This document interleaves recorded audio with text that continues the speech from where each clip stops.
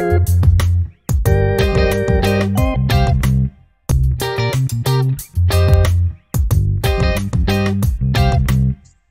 welcome to our first book. It is Peek a Book, and this is by Malachy Doyle and Rowan Martin.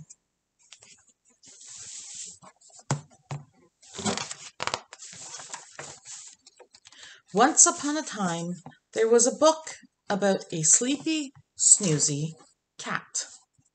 Then a dog from another book spied her sleeping and he started to chase her. Woof, woof. So the cat jumped right out of her book and into another book.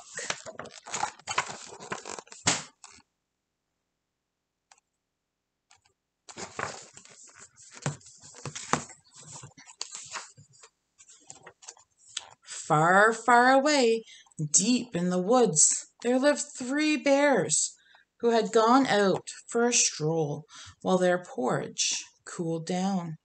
And guess who slipped into the page and licked the smallest bowl clean? Not Goldilocks, but Cat. And guess who tore in after her, landed on a chair, and broke it? Dog. Cat saw Dog, so she sprang straight into the biggest bowl.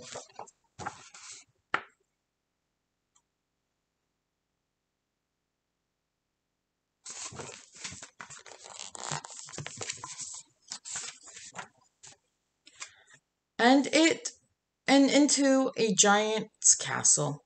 Fee, fi, fo, fum, yelled the giant. I smell a cat. He chased her all around the castle and down a beanstalk. But Dog was there at the bottom, barking his head off. The startled giant slipped and came tumbling down. Cat jumped lightly on top of him bouncing over dog and into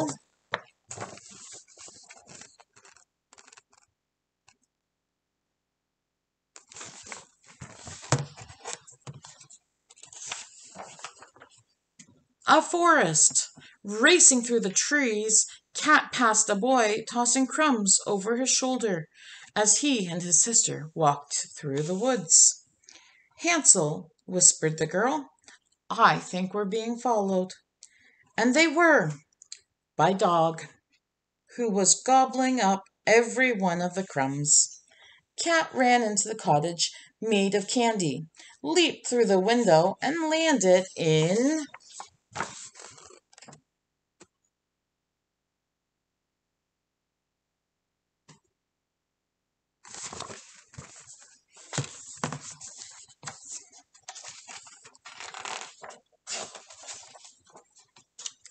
another cottage. She tucked herself into a rickety old bed. Grandma, what big eyes you have, said Little Red Riding Dog. But it wasn't Grandma who answered. All the better to see you with, said Cat. She hopped off the bed and ran right into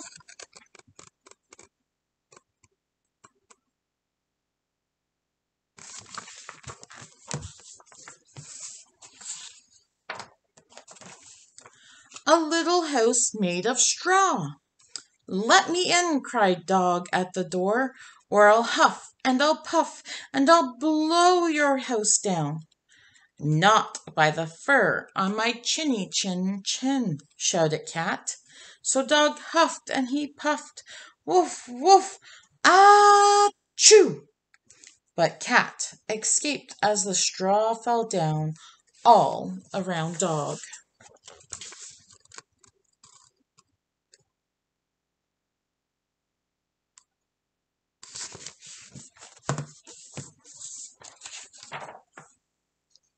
Soon Dog followed Cat to a river. Who's that trip trapping over my bridge? grunted a grumpy troll. Just me, said Cat. Well, I'm going to eat you up, roared the troll. Oh, don't do that, said Cat. A big fat dog will be here soon, and he will be much tastier than me. And off she went over the bridge and down the path.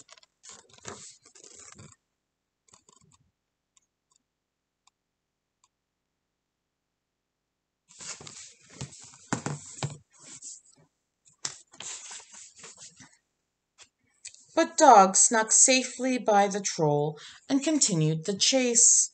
Run, run as fast as you can, meowed Cat, scampering away from Dog, an old man, an old woman, and a pig. You can't catch me. I'm a gingerbread cat. She skipped and skidded straight into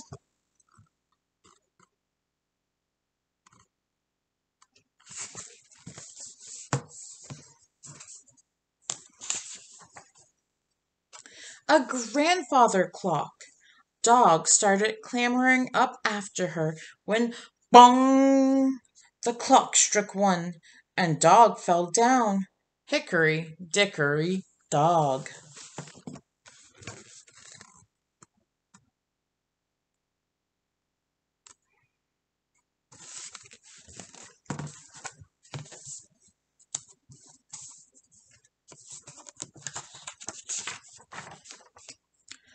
Cat sprang into a story with seven dwarfs.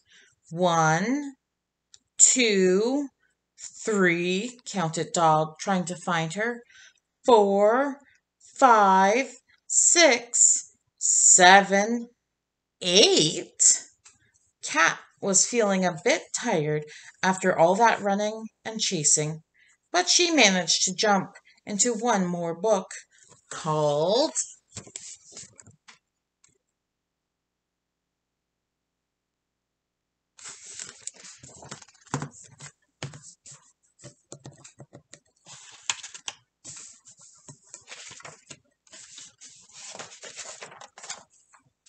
Cinderella.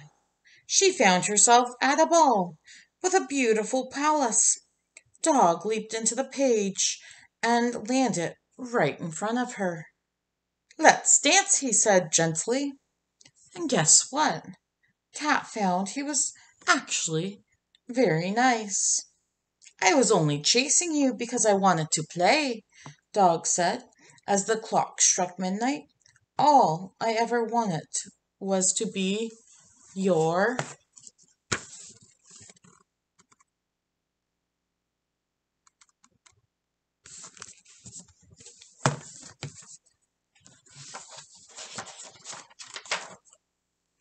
friend.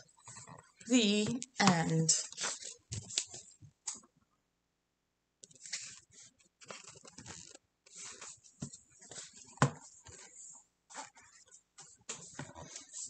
So, do you think you could go back and name all those stories that they went through? There's quite a few. I challenge you to try that. Okay, head on over to the other book. We'll read it there and we'll see you there.